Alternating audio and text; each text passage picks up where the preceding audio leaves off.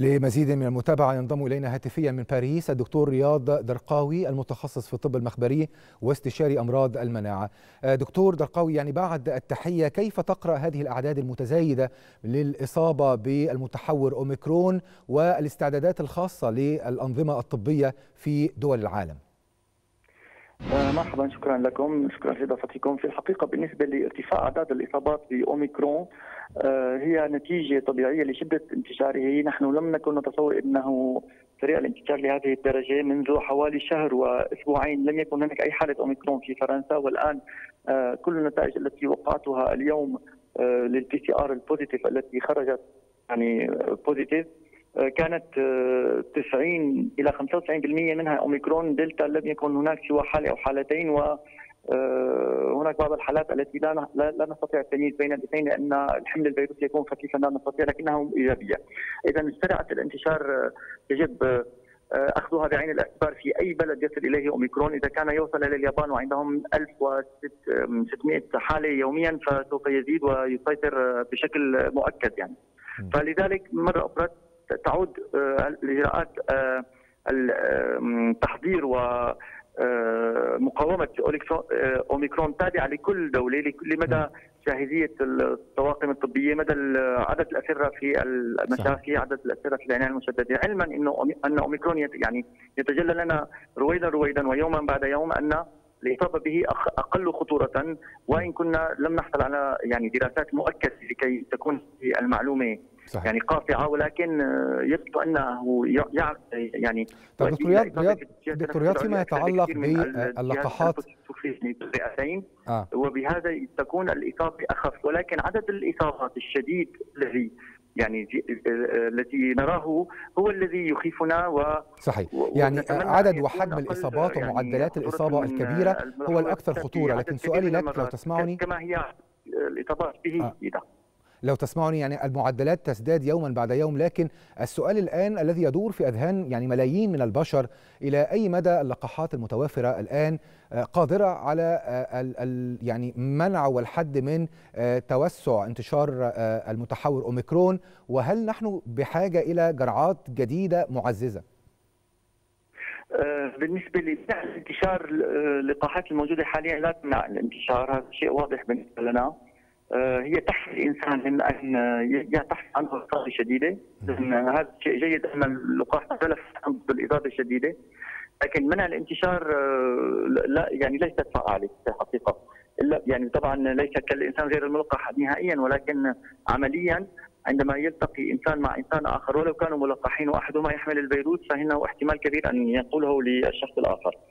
آه بالنسبة لي جرعة ثالثة لا شك أنها تقلل من نسبة الانتشار أيضا لكنها لا تدوم سوى لشهرين يعني فنحن لا نستطيع أن نعطي الإنسان كل شهرين أو كل ثلاثة صحيح. أشهر أو حتى كل أربعة أشهر كما هو الحال حاليا بفرنسا يعني يحاولون أن يصدروا قانون البطاقة التلقيحية التي يجب أن يأخذ الإنسان وفقا لها اللقاح كل أربعة أشهر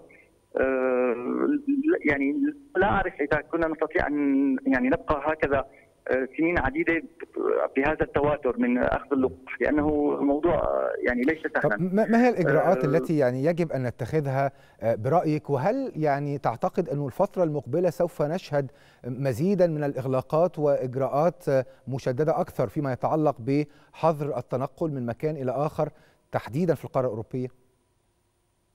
في القارة الأوروبية الآن الأوميكرون منتشر في كل مكان فتحديد الانتقال بين مكان إلى آخر لن يفيد يعني بالنسبة لمنع الانتشار.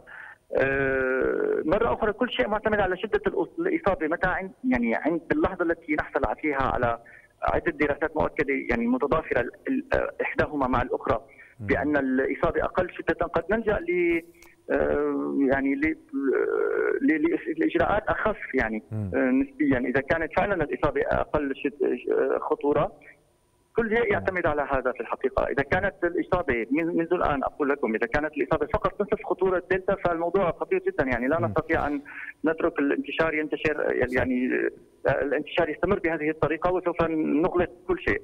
أما لكن, إذا لكن نسب الوفيات حتى الآن دكتور رياض؟ مثلا بست مرات أو ثمان مرات فمن الممكن التعايش معه. على كل حال ليس هناك أي حل حاليا يعني. صحيح. لا يوجد أي حل لا باللقاح ولا بغير اللقاح.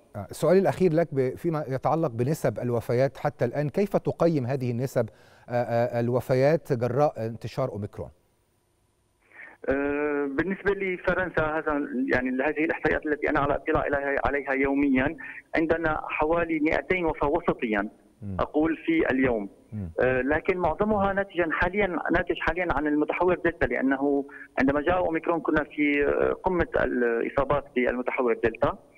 فلا أعرف بالضبط دقة كم من كم عدد الوفيات التي نستطيع أن نعدها لأوميكرون. وذلك لعده أسباب. من أهمها أنه عندما يأتي الإنسان إلى المشفى حاليا ولكي نعمل بما انها الأعداد يعني كبيرة للانتشار لا نستطيع أن نعمل séquençage يعني sequencing ونتأكد من أنه أوميكرون 100% فهناك من يعني يتوفى قبل أن نستطيع أن نعمل هذا الفحص الأخير الذي يؤكد لنا أنه أوميكرون لكي نستطيع أن نحصل على إجابات دقيقة. فهذا الموضوع يحتاج قليلا من الوقت حوالي أسبوعين وأعتقد أنه سوف تكون عندنا الصورة أكثر وضوحا يعني ونستطيع أن نجيب لكن حاليا صدقا لا أستطيع إجابة. دكتور رياض هل من المتوقع أن توافق هيئة تنظيم الصحة قريبا على يعني بعض الأقراص الخاصة التي سوف تنتجها شركة فايزر للعلاج وتفادي الإصابة بكورونا؟ بالنسبة بأي دولة قصدك بأوروبا أو أين؟ عالميا يعني شركة فايزر في طريقها لإنتاج دواء متخصص مفهوم. للعلاج دواء يتم تناوله يعني عبر الفم. حاليا الدواء الذي يعني أصدرته شركة فايزر أو شركة ميرك حتى هو دواء يؤخذ يعني في بداية الإصابة ولكن ليس عند كل الناس. هو عند كل بعض الناس الذين هم عندهم المناعة منخفضة أو هم كبار بالعمر. لا يمكن تعميمه على كل الناس. لم لم تجري دراسة كاملة لكي نستطيع أن نقول أننا نستطيع نعطيه لكل شخص يعني.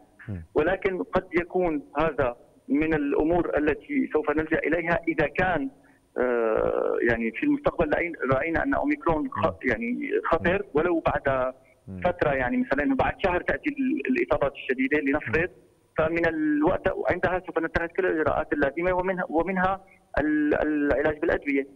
فحاليا يعني حقيقة الصورة غامضة بالنسبة للعلاج بالأدوية التي لا تؤخذ عن طريق الوريد يعني الأدوية التي تؤخذ سمويا ولا نستطيع أن نعمم هذا بشكل عام، بفرنسا الأعداد قليلة التي نعطيهم يعني عدد الناس المصابين الذين يأخذون أدوية سبايدر هي قليلة حاليا. لذلك لا أستطيع مرة أخرى أن أجيب بشكل واضح عن هذا السؤال. دكتور رياض برقاوي درقاوي المتخصص في الطب المخبري واستشاري أمراض المناعة كنت معنا من باريس. شكرا جزيلا لك.